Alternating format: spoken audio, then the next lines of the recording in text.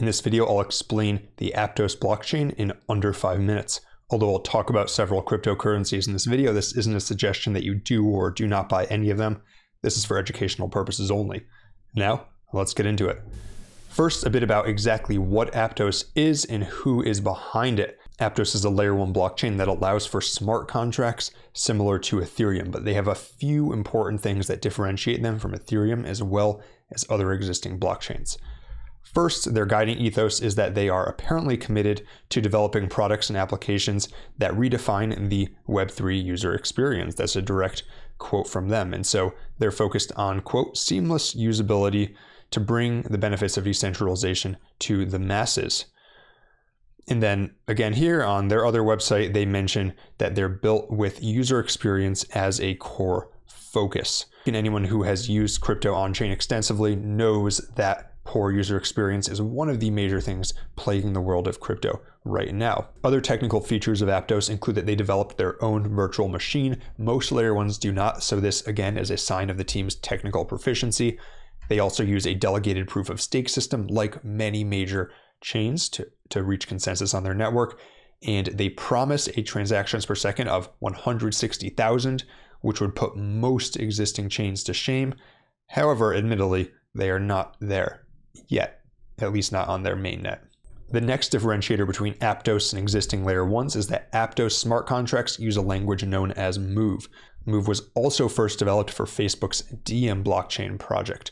Now, Facebook's Diem project has since been shut down because of regulation, but as we'll see, the ties between Aptos and Diem run very deep, as the founding team of Aptos, as well as many of their engineers, came from Facebook or Meta. Now let's talk about the team behind Aptos. The two founders are Mo Shaikh and Avery Ching, both of whom previously worked at Meta, and their connections in the world of Web 2 run very deep. If you look at the investors behind Aptos, then it's a laundry list of some of the biggest names in crypto. This is both a positive and a risk, I'll say, because Although having the support of major investors can cause chains to do very well, recall how well Solana did last cycle, combined with some of Aptos' tokenomics that we'll talk about in a minute, there is the risk of retail investors who buy now potentially getting dumped on by large funds as these tokens come unlocked in future years.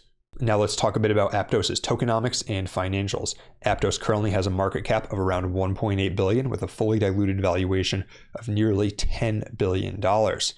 As I mentioned before, this is a major risk because although most of these tokens won't come unlocked for years, they will start coming unlocked in October. So if you're buying now with the plan of holding for a multi-year time frame, be mindful that there will have to be enough new demand to outstrip the fact that all of these tokens are coming onto the market.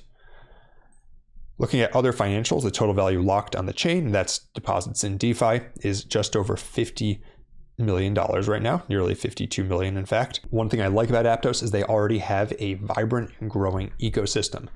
Here on their GitHub, you can see that they have a whole host of different types of projects developing on top of Aptos. And to highlight a few that you might use if you're interested in the chain, First, there is the Petra wallet. This is known as the Web3 wallet to explore Aptos, and it's the one referenced on their official website. If you're looking to bridge to Aptos, then you can use the Liquid Swap bridge, and I highlight this one as well because if you're looking to potentially qualify for a layer zero airdrop, then this bridge may be of interest to you because it uses layer zero technology. Once you get to Aptos, perhaps you'll want to swap for different tokens. The largest DEX on Aptos at the moment is known as Thala. However, if you're looking for something that's a bit more familiar and an app that has been deployed for longer on other chains, then PancakeSwap, the largest exchange on Binance Smart Chain, is also deployed on Aptos. If you're looking to stake your Aptos tokens, then there's several liquid staking options on Aptos, one of which is Tortuga and one of which is Ditto. And finally, if you perhaps decide you really want to dive into the Aptos community and get your Aptos name, you can do so at aptosnames.com. I have no affiliation with them, but perhaps you want to get a .apt just like you see people with .eth. There's your five minute rundown of Aptos. Hope you enjoyed the new format. If you want more videos like this, be sure to like and subscribe. And until next time, this is Dynamo DeFi.